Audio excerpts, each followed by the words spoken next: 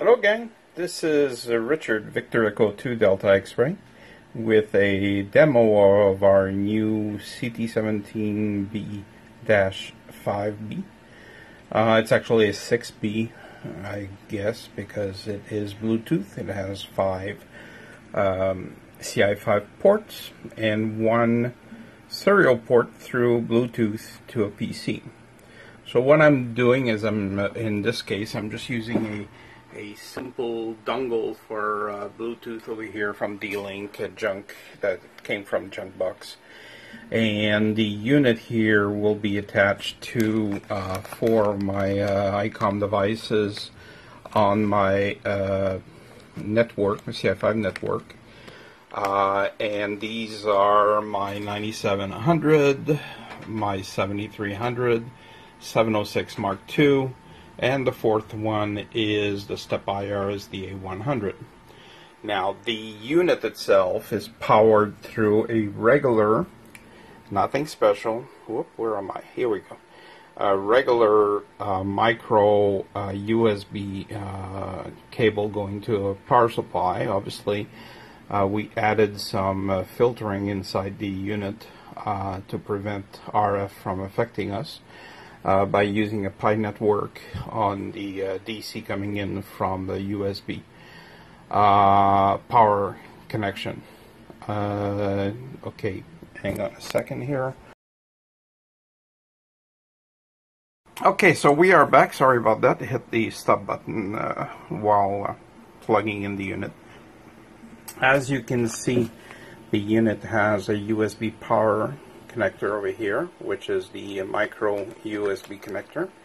Five uh, CI-V ports and a flashing light. The flashing light right now is telling us that the uh, unit is powered, but it's not attached to a, a serial port as such. It is paired, uh, but it's it's not communicating over the serial port. When it does start communicating over the serial port, the light will go on solid.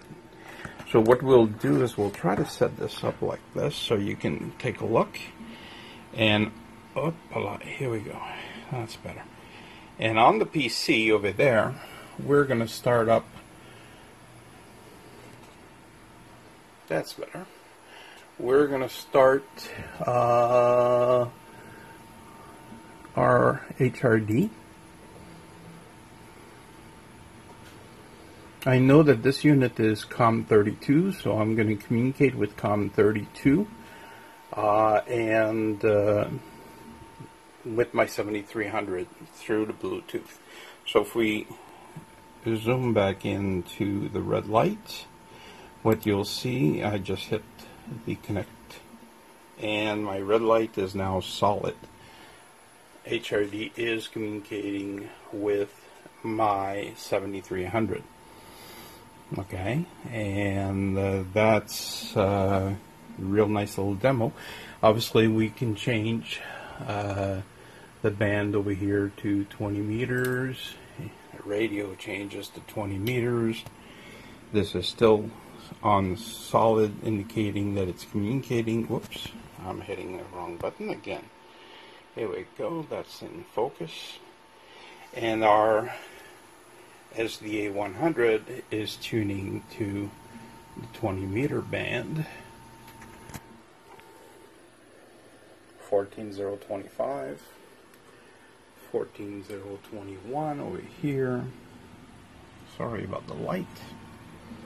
And there we go, it's tuned.